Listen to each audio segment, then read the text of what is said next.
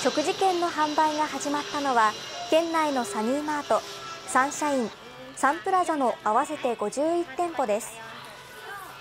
購入する際、事前予約は不要です。1セット4000円で5000円分の食事券を購入できます。高知市のサニーマート山手店では9時の開店から1時間で70セットが売れるなど早速多くの人が買い求めていました。便利ですよね。前はあのネットで予約して行ってましたのでそういう意味では今回すごく楽に買えたかなと思います。食事券の販売は5月末までで利用は6月末までです